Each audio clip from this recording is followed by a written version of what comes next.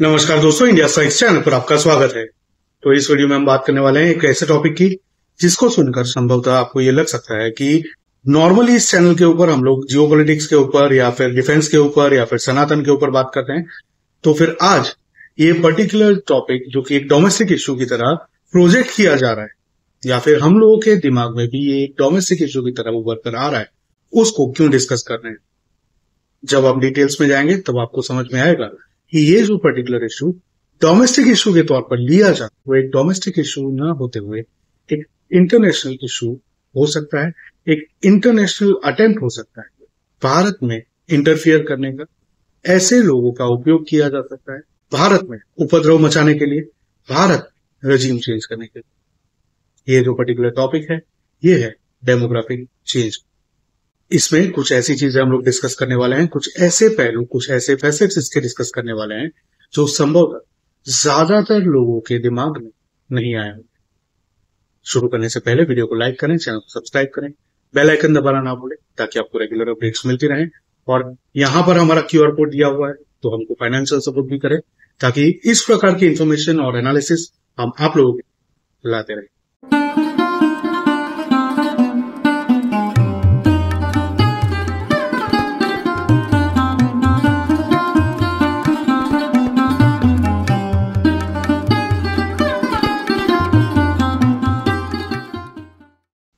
तो आइए शुरू करते हैं। तो बात करें अगर डेमोग्राफिक चेंज की तो रोज ही मेन स्ट्रीम मीडिया में यूट्यूब पर और अलग अलग सोशल मीडिया पर भी ये बातें उठाई जाती हैं कि भारत के अलग अलग हिस्सों में से कुछ बांग्लादेशी पकड़े गए हैं, कुछ रोहिंग्यास पकड़े गए हैं। कई कई जगहों पर अब ये मुहिम भी छिड़ गई है कि उन एरियाज़ में से जो भी रोहिंग्यास है या बांग्लादेशी हैं, वे लोग जो झुकी झोपड़ी बनाकर रह रहे हैं, उन लोगों को भी वहाँ से हटाया जाए तो उसी के ऊपर एक मूवमेंट भी चल रहा है और कुछ लोग उसमें एक्टिव भी हैं। लेकिन ये मामला इंटरनेशनल इंटरफियरेंस का किस प्रकार से हो सकता है, उसके ऊपर नज़र डालेंगे।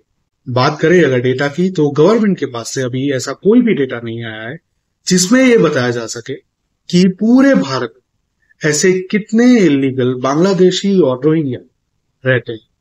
जी हाँ कोई भी ऐसा गवर्नमेंट डेटा नहीं है। लेकिन यहाँ पर हम लोग 10 सितंबर की फ़र्स्ट पोस्ट की एक रिपोर्ट है उसको कोट करेंगे जिसमें ये बताया गया है कि ये अनुमान लगाया जा रहा है कि भारत में हाल में तकरीबन 15 मिलियन इलीगल बांग्लादेशी रह रहे हैं। जी हाँ 15 मिलियन, यानी कि डेढ़ करोड़ इलीगल बांग्लादेशी माइग्रेंट भारत में हाल में रह रहे हैं। इस प्रकार का अनुमान लगाया गया है और फिर से एक बार, ये जो पर्टिकुलर रिपोर्ट है फ़र्स्ट पोस्ट की, ये ज़्यादा दूर की नहीं है, वो ज़्यादा पुरानी नहीं है। ये रिसेंट है 10 सितंबर 2024 की रिपोर्ट है तो आप लोग भी जाकर देख सकते हैं उसको।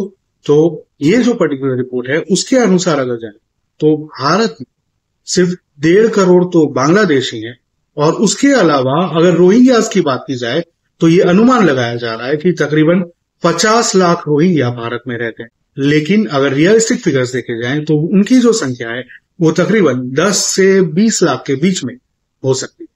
तो अगर इनका इन टोटल मिलाया जाए तो तकरीबन एक करोड़ साठ लाख जितने इलीगल इमिग्रेंट्स भारत में हाल में रह रहे हैं। अब आप सोच रहे होंगे कि ये सिर्फ़ इलीगल इमिग्रेंट्स हैं, इनके पास कोई डिटेल्स नहीं होंगी, कोई आईडी नहीं होगा। तो फिर ये हम लोगों के लिए किस तरह से खतरा बन सकेंगे?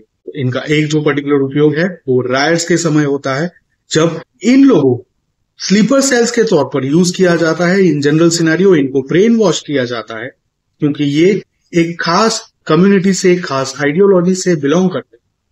तो इन लोगों को ब्रेन वॉश करके रखा जाता है और साथ ही पैसा देकर इन लोगों को तैयार किया जाता है ताकि जब भी भारत में, पूरे भारत में किसी भी जगह पर उपद्रव करना हो, उस समय इन लोगों को वहाँ शिफ्ट किया जाए। तो इस प्रकार से भारत में जो भी राइट्स होते हैं, उस समय इस प्रकार के जो डेढ़ करोड़ जितने इलीगल लोग रहते हैं, उनको मोबिलाइज किया जा सकता है और उन लोगों को वहाँ पर एक स्ट्रीट पावर के तौर पर प्रोजेक्ट करके उस स्टेट की और पूरे भारत की जो सरकार है, जो सेंट्रल गवर्नमेंट है या स्टेट गवर्नमेंट है, उनको प्रेशर में लाया जा सकता है और उस पर्टिकुलर एरिया के, उस पर्टिकुलर रीजन के जो भी लोग हैं, उन लोगों को दबाव में लाया जा सकता है, उन लोगों के ऊपर हमले भी हो सकते हैं। इस प्रकार की घटनाएँ ऑलरेडी पार्ट में हुई हैं। और कुछ जगहों पर यह भी बताया जा रहा है कि वहाँ पर भी बांग्लादेशी इलीगल इमिग्रेंट्स का और रोहिंग्या इलीगल इमिग्रेंट्स का इन्वॉल्वमेंट था। तो उसी तरह से ये जो पर्टिकुलर इलीगल इमिग्रेंट्स भारत में रह रहे जिनकी संख्या तकरीबन डेढ़ करोड़ जितनी बताई जा रही वे लोग उन्माद फैलाने के लिए, सोसाइटी में उन्माद फैलाने के बहुत ही यूजफुल हो सकते हैं, ऐसे लोगों के लिए जो भारत को कॉन्स्टेंटली अनस्टेबल करना चाहते तो एक हो गया इनका ये पर्टिकुलर उपयोग, जिसमें उन लोगों को उपद्रव मचाने के लिए अलग अलग जगहों पर मोबिलाइज किया जा सकता है अलग अलग जगहों पर भेजा जा सकता है, चाहे वो साउथ में हो ईस्ट में हो वेस्ट में हो नॉर्थ में हो सेंट्रल रीजन में हो, कहीं पर। एक ये हो गया। दूसरा और बहुत ही क्रिटिकल सिनेरियो जो क्रिएट होता है, वो तब होता है जब कल एक रिपोर्ट आई टाइम्स नाउ नव भारत जहाँ पर राजस्थान में एक एमएलए है, बाल मुकुंदाचार्य जी। उन्होंने एक पर्टिकुलर शॉप पर रेड की और वहाँ पर जाकर ये बताया कि उस जगह से पूरे भारत के लिए इलीगल आधार कार्ड और वोटर आईडी बनाए जाते हैं। अगर आपने वो पर्टिकुलर रिपोर्ट नहीं देखी है तो हमारे व्हाट्सएप चैनल पर भी है तो आप जाकर देख सकते हैं। यूट्यूब पर भी आपको मिल जाएगी, खास करके टाइम्स नाउ के पेज पर। बाल मुकुंदाचार्य जी का नाम लिखेंगे तो शायद उसमें भी आपको मिल जाएगी।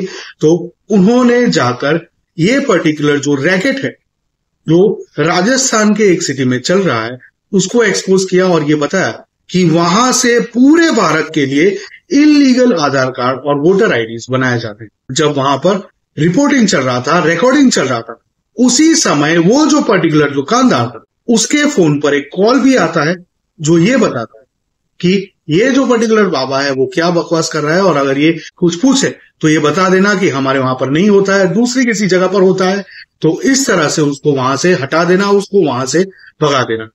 तो ये भी वहाँ पर उस पर्टिकुलर रिपोर्टिंग में रिकॉर्ड हो गया था। नव भारत टाइम्स की उस पर्टिकुलर रिपोर्ट तो अगर आपने वो पर्टिकुलर रिपोर्ट नहीं देखी तो वो जाकर ज़रूर देखें, ताकि ये जो पर्टिकुलर इलीगल बांग्लादेशी और रोहिंग्या भारत में घुस रहे हैं, वे लोग किस तरह से फेक आधार कार्ड और फेक वोटर आईडी बनाकर भारत सरकार के जो भी लाभ हैं, जो दिए जाते हैं, जो मध्यम वर्ग वालों को या फिर लोअर मिडिल क्लास वालों को लोअर क्लास वालों को जो भी बेनिफिट्स दिए जा रहे हैं, उन बेनिफिट्स पे ये हम लोगों के पास से किस तरह से हथियार है? तो उसी प्रकार से ये जो पर्टिकुलर एक पूरा रैकेट चल रहा है, जहाँ पर इलीगल आधार कार्ड और वोटर आईडी बनाकर उन लोगों को इलीगल बांग्लादेशी और रोहिंग्या को इलीगली भारत का नागरिक करार दिया जा रहा है, उसके चलते भारत की डेमोग्राफी बहुत ही बड़ी मात्रा में चेंज होती जा रही अब ऐसे जो पर्टिकुलर लोग हैं, उनका उपयोग तीसरा और बहुत ही क्रिटिकल बहुत ही डेंजरस जो उपयोग किया जा सकता और किया जा रहा है कई सारी जगहों पर वो हो रहा है इलेक्शंस के दौरान। जी। इलेक्शंस के दौरान ऐसे जो इलीगल माइग्रेंट्स हैं उनका फेक आधार कार्ड फर्जी आधार कार्ड और उन लोगों के वोटर आईडीज बनाकर उन लोगों अलग अलग जगह का नागरिक बताया जाता है अलग अलग सिटीज़ का जहाँ पर किसी खास व्यक्ति को सत्ता में लाना हो तो ऐसी जगहों का आधार कार्ड उन लोगों का बनता है इन यूज़ बल्क और बाद में उन लोगों को पूरा मोबिलाइज किया जाता है ऐसी जगहों पर। और वे लोग वहाँ जाकर वोटिंग करते हैं, पैसों के लिए। और बाद में वहाँ पर रजीम चेंज होती है। वहाँ पर जो एक्चुअल काम करने वाले लोग, जो एक्चुअली में ग्राउंड पर काम करने वाले नेता है, वे लोग सत्ता में नहीं आ पाते हैं और आते हैं ऐसे लोग जो देश को बेचना चाहते हैं, अपने राज्य को बेचना चाहते हैं, जो अपने राज्य को, अपने शहर को पूरा ही बैकअप कर छोड़ देते तो इस प्रकार से ऐसे जो इलीगल इमिग्रेंट्स भारत में घुसे हैं, बांग्लादेशी हो या रोहिंग्या, उन लोगों के अलग अलग उपयोग किए जाते हैं ताकि भारत में उन्माद फैलाया जा सके, भारत को कॉन्स्टेंटली अनस्टेबल रखा जा सके और साथ ही में भारत सरकार के जो भी बेनिफिट्स हैं, वो वे लोग हत्या सके, हमको जो बेनिफिट्स मिलने चाहिए, वो वे लोग हत्या सके और साथ ही अगर रिजीम चेंज करना हो तो उन लोगों को मोबिलाइज भी किया जा सके। अभी अगर रजीम चेंज की बात करें तो ये जो सिनेरियो पूरा क्रिएट होता है, ये जो पर्टिकुलर लोग हैं, अगर रोहिंग्या की पर्टिकुलर बात करें तो फिर भी ये समझ में आता है कि वो जहाँ से आते हैं, रखाइन स्टेट म्यांमार का, वहाँ से आराकान आर्मी ने इन लोगों मार मार के भगाया था इनकी हरकतों की वजह से। तो उसी के चलते वे लोग म्यांमार से भागे थे, लेकिन वे लोग भारत में वे लोग वहाँ पर बांग्लादेश में एक इस्लामिक नेशन में शांति से रह सकते थे पना ले सकते लेकिन फिर भी कई सारे उसमें से लोगों को यहाँ पर भारत भेजा जा रहा है। और साथ ही इस्लामिक नेशन में से भारत में मुसलमानों को भेजा जा रहा है। इनलीगली घुसपैठ करवाई जा रही है ताकि भारत में डेमोग्राफिक चेंज करवाया जा सके और भारत में सत्ता परिवर्तन करवाया जा सके ताकि बाहर बैठी हुई ताकतें बांग्लादेश और पाकिस्तान के थ्रू ऐसी एक्टिविटीज़ करवाएँ ऐसे लोगों को एक्टिवेट करे, ऐसे ग्रुप्स को एक्टिवेट करे, ऐसे भारत में रह रहे स्लीपर सेल्स को एक्टिवेट करे, ताकि भारत में पूरा रजीम चेंज हो, भारत में सत्ता परिवर्तन हो, और उन लोगों का जो पपेट है, उनकी जो कठपुतलियाँ हैं, वो अल्टीमेटली आकर सत्ता में बैठे। फॉर्चुनेटली भारत में सौ करोड़ हिंदू हैं, और कई सारे ऐसे अन्य धर्म के लोग भी हैं, जो ये चाहते हैं कि भारत सुरक्षित रहे, भारत स्टेबल रहे, भारत आगे बढ़ता रहे। तो उन्हीं की वजह से आज भी भारत सुरक्षित है। आज भी भारत में ऐसे लोग, नेता बनकर बैठे हुए हैं, जो अपने लोगों के लिए कुछ करना चाहते हैं, कुछ कर रहे हैं। लेकिन ये जो संख्या है, उसका अगर एक अलग पर्सपेक्टिव देखें, ये जो डेढ़ करोड़ की संख्या बताई गई है उस फ़र्स्ट पोस्ट के रिपोर्ट में, उसका अगर एक अलग पर्सपेक्टिव लिया जाए तो एक आम सिटी में, जो कि एक मेट्रो सिटी नहीं है उसकी जो जनसंख्या होती है वो तकरीबन दस लाख से लेकर पचास लाख के बीच में होती है। मेट्रो सिटीज़ में पचास लाख से ऊपर की संख्या होती है। तो उसी के चलते ये अगर डेढ़ करोड़ की संख्या ले तो ये दो से तीन मेट्रो सिटीज़ जितनी जनसंख्या हो जाए। तो समझ लीजिए कि ये लोग कितना बड़ा इंपैक्ट क्रिएट कर सकते हैं किसी भी पर्टिकुलर रीजन में। जिस तरह से वो लोग हाल में जम्मू कश्मीर में कर रहे हैं, जिस तरह से रिपोर्ट आ रही है दिल्ली में भी बताया जा रहा है कि कई सारी ऐसी जगह है जहाँ पर झुग्गी झोपड़ियों में ऐसे बांग्लादेशी और रोहिंग्याओं को रखा जा रहा है। उसी प्रकार से वेस्ट बंगाल भी है और कुछ नॉर्थ ईस्ट के स्टेट्स भी हैं, जिनकी डेमोग्राफी चेंज करने की एक्टिविटी काफ़ी सालों से चल रही है। इसके ऊपर हेमंत बिश्व शर्मा, आसाम के जो सीएम है, वो भी कॉन्स्टेंटली एक्टिव है कॉन्स्टेंटली नज़र बनाए हुए हैं और उसके ऊपर कॉन्स्टेंटली वर्क कर रहे हैं। साथ ही में बाहर आकर बयान भी दे रहे हैं ताकि लोगों को भारत के लोगों को भी पता चले कि किस प्रकार की गतिविधियाँ भारत के उस पर्टिकुलर भूभाग में हो रही हैं। हमको और तो लगातार आप लोग डेमोग्राफिक चेंज को लेकर बातें कर रहे हैं। तो जो कागज़ नहीं दिखाएँगे, क्या वो बांग्लादेश जाएँगे, चुनावी मुद्दा होगा? देखिए एनआरसी होगा, जिसका नाम एनआरसी में नहीं आएगा, उनको हम लोग बांग्लादेश तक धक्का मार मार के हमको भगाना पड़ेगा। यही हमारा नीति होगा। पहले सब लोगों को एनआरसी बनने का समय, सब लोगों को अपना पक्ष रखने का सुविधा मिलेगा। कानूनन पूरा जितना भी प्रोसेस करना है, सब प्रोसेस किया जाएगा। अंत में अगर आप अपने आप को प्रूव नहीं कर सकते हो कि मैं भारत का नागरिक हूँ तब आपको कानून का रास्ता से ही हम धक्का मार मार के बांग्लादेश भेज दो असम में कितना सफल पहला असम में देखिए असम में हमारा एक प्रोसेस कंप्लीट हो चुका है। चौदह लाख लोगों को हमने आइडेंटिफाई किया हूँ। अभी हम सुप्रीम कोर्ट से और रिक्वेस्ट किया हूँ को कि हमको और एक बार करने दीजिए। सीमान में हमको और 20 परसेंट सैंपल से करने दीजिए। पहला चरण में ही हमने सोलह लाख लोगों को आइडेंटिफाई किया जो प्रथम दृष्टि में भारतीय नागरिक नहीं है।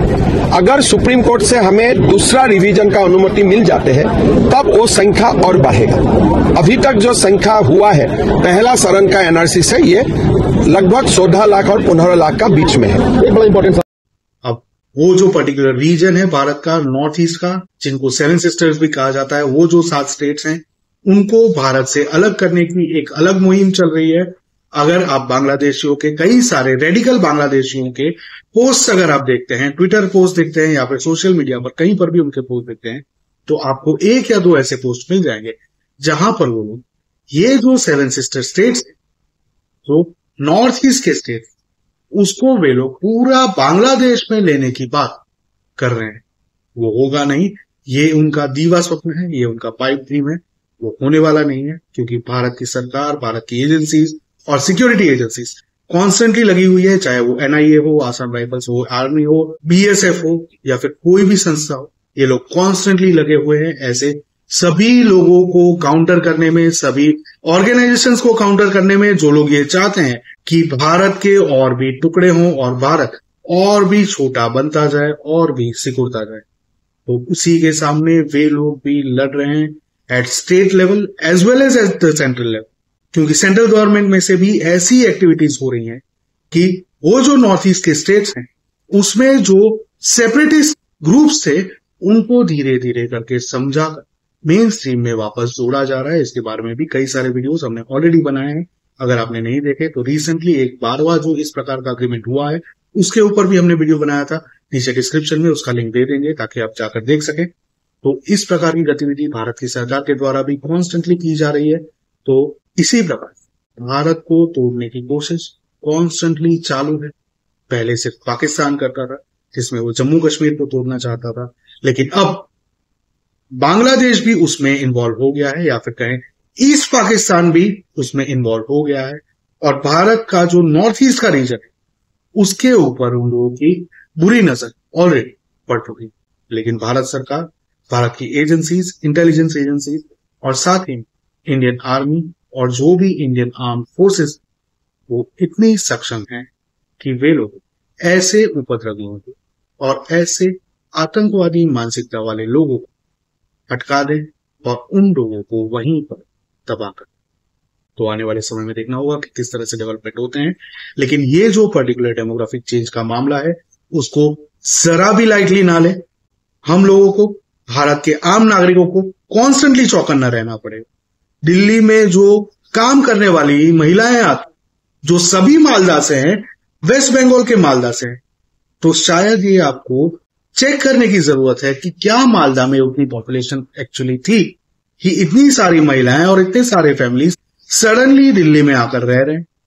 और क्या मालदा में हाल में उतनी पॉपुलेशन है या फिर उतना पॉपुलेशन चेंज हुआ है, जिस अनुपात से यहाँ पर महिलाएँ काम करने के लिए आएगी तो उसी प्रकार से पूरे भारत में हम सभी को, चाहे वो नॉर्थ हो, साउथ हो, ईस्ट हो, वेस्ट हो, सेंट्रल हो, हम सभी को अवेयर रहना होगा, सभी को चौकन्ना रहना होगा, ऐसे कोई भी संदिग्ध व्यक्ति मालूम पड़े तो तुरंत ही उसकी इंफॉर्मेशन जो भी कंसर्न एजेंसीज हैं या फिर पुलिस है, उन लोगों को तुरंत ही जाके दें, ताकि ऐसे लोगों को, ऐसे स्लीपर सेल्स को, भारत से बाहर किया जा सके।